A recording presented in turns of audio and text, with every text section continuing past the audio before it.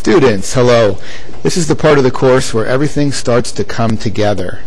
All of our hard work, we're now going to see a lot of the uses of statistics. Confidence intervals, capturing the unknown. Here's what we set out to do today. This is what we wanted to know. We wanted to know the percent of all students Fairview High School students who think that drinking is an important part of the high school experience. We want P, just plain old P, which stands for the population proportion. But we don't have that. We didn't do a census. What we have is just a sample of FHS students and the percent that said yes to that question. That is the P hat. So does p hat equal p? There's basically a 0% chance of that happening. So we have 0% confident, confidence that our sample exactly nailed the true proportion at Fairview High School that would say yes to that question. So why did we bother if we have zero confidence in our results?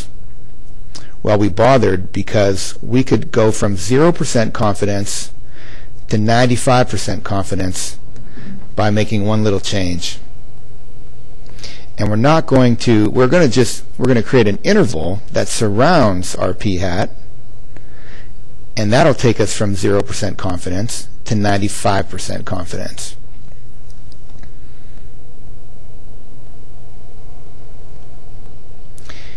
Here's a little visual trying to explain that. Let's say that this green line is the population parameter. In, in our specific case, it is the proportion of students who think drinking is an important part of the college experience. Again, we don't know it, but let's say that that is the value of it on this x-axis. I don't know if that's 20%, if that's 30%, 40%, whatever it is. Now, when we take a sample, let's say this is our sample, we missed the green line. See, the goal is to try to hit the green line. That means we came up with the right percentage. Our sample gave us the exact correct percentage of the population. Well, let's say this is our sample. Well, we missed. We overestimated. But if we make an interval using a margin of error, add, add and subtract to both sides, we have now contained what we're looking for. Let's say this is another sample. We missed again. That's our sample statistic. But our interval contained it again. Another sample which missed, but our interval contained the population parameter, the population proportion in this case. Now it's possible, of course, that we could get a sample a little far out of reach, a little unusual, and even our interval will miss. And that's why we're never 100% confident. But like I say, we can be 95% confident. We could be 99% confident if you want. You just have to make the interval wider. So how, how do we know we're 95% confident? Well, check out this little sample here. This dot here, we said the interval missed and how often would the sample happen? Not very often. Not very often are we going to be this far away. So what we're looking at here is the sampling distribution. This is why we had to learn sampling distribution because it teaches us why how confidence intervals work. So most of our samples are going to be within reach of this green line. Just look at the, the, the height of the curve here and, and whenever we have a sample within this range, our interval is going to contain the green line. Now, every once in a while, we might get an unusual sample, and our interval will miss the green line, but that's going to be rare, as you can see by the curve. Here's one more example. We missed the green line, but our interval contained. I have the results for you. I tallied the papers. And out of 55 students who you guys surveyed today, and by the way, I did go next door and I interviewed Mr. Plotz's AP Calc class, and 35 said yes, that drinking alcohol is an important part of the college experience out of 55. So our P hat is 64%, and our Q hat is 36%, those that said no.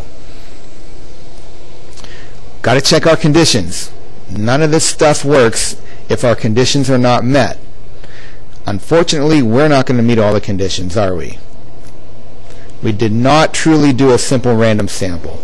You could argue that the people we sampled were representative of the school, especially of the seniors, but you could ar also argue that they're not representative. It wasn't a random sample which means we really don't know that these students were independent of each other, especially because we interviewed entire classrooms, which means there could be a certain type of student in a certain type of class. Do you get it? I think we're okay with the 10% condition. We have a little more than 550 students, so we're okay there. And our sample was large enough, as you can see with NP hat and NQ hat. Notice the difference. We're not going to unrealistically we're not going to unrealistically assume we know the population proportion anymore. Remember Brett Heinz had that question. Uh, now we're going to go ahead and use what we really have. All we have is p hat. That's our sample proportion. So our NP hat and NQ hat are both above 10. We're looking good there. Let's run through the mechanics pretty quickly here. Uh, here's how we're going to make this interval you, that I showed you. We're going to have to calculate the margin of error the z-score of our confidence level times the standard deviation. Standard deviation is not new, except we're using p hat q hat because that's all we have. You're going to take p hat q hat divided by n under the square root. So that takes care of half of the margin of error. What about this z-score, though? The z-score is based on the level of confidence you pick. How confident do you want to be? Well, you probably always want to be as confident as you can, but the problem with being 99% confident is your interval is going to be pretty wide, and it's going to maybe look like it's too wide to the point where you're not learning much about the population. But these are the three most common choices for a level of confidence. If you are, if you choose to be 95% confident, that's the middle 95% of the under the normal curve.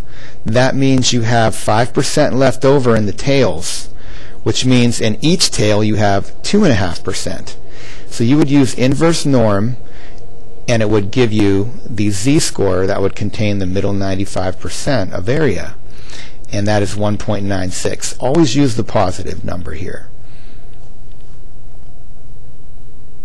So then we're ready to go with our confidence interval. Take your p hat, add and subtract this margin of error, which you're going to calculate.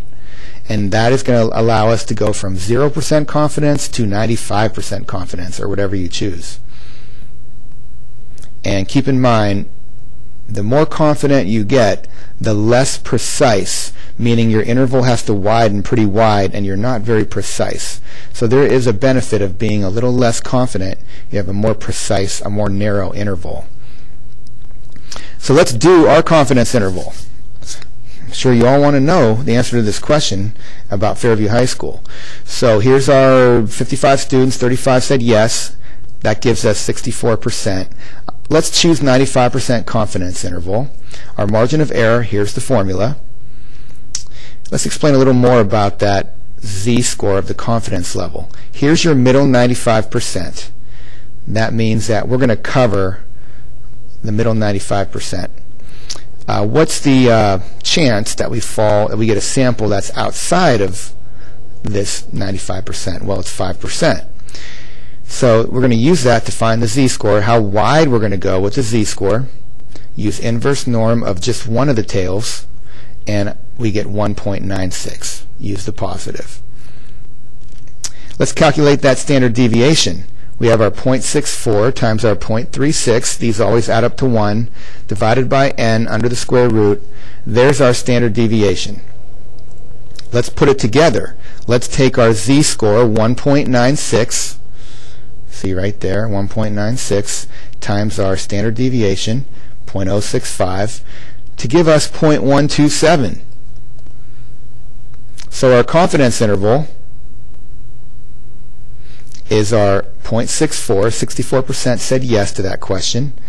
Add and subtract our 12.7% or 0.127 and our final result looks like that. Exciting, isn't it? Well, really what this says is that we think, well, let's go to the next page. Here's the two numbers. Here's our interpretations. And, and this is very important, class. Let me get rid of that. This is very important that we understand how to interpret our results. Remember, the whole goal of this class is to not only understand statistics, but to be able to explain it to the average person. So, we are C percent confident. I left that C because it depends on what you choose. That our interval contains the population proportion. Specifically, this is how you would say the answer, this is the result of our uh, little study we did. We are 95% confident that the proportion of Fairview High School students that think drinking is an important part of the college experience is between 51% and 77%. These are the numbers from the previous page. Now, this is a little bit wide, so we're you know we, we could go down to 90%, and that would shrink this a little bit. Maybe it would bump it up to like 56% to like 72%, something like that, to be a little more precise. But at least we are confident that we have contained what Fairview High School thinks about this question. So if we were wondering if it was the majority or not, well, I think our results shows that the majority of Fairview High School students, especially juniors and seniors, think yes to this question. You should be asking, what does 95% confident actually mean? It's hard. I mean, how do you explain, well, I'm 95% confident in, in life? Well, what does that mean? Uh, well, he, this is what it means statistically.